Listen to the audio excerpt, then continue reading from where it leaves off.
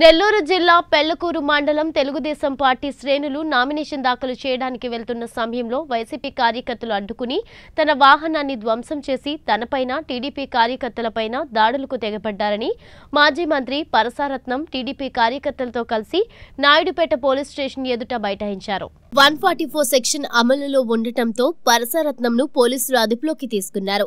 పరసరత్నం వెంకటనాయుడుపేట మండల తెలుగుదేశం పార్టీ ఎస్సీసీల అధ్యక్షుడు తార్ల రాజేంద్ర నాయుడుపేట పట్టణ అధ్యక్షుడు కృష్ణారెడ్డి తెలుగుదేశం నాయకులు ఉన్నారు.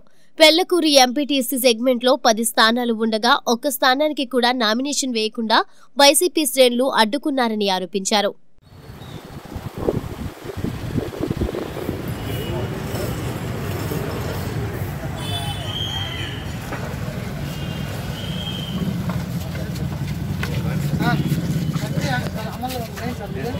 لا لا